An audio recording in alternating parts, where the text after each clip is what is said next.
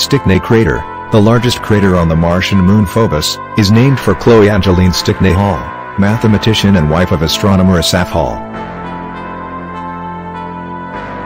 Asaph Hall discovered both the red planet's moons in 1877.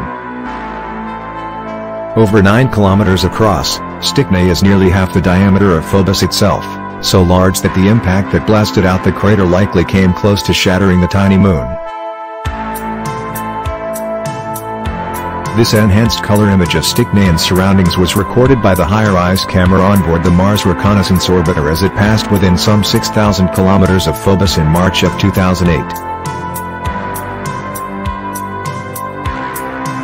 Even though the surface gravity of asteroid like Phobos is less than 1 1,000th Earth's gravity, streaks suggest loose material slid down inside the crater walls over time.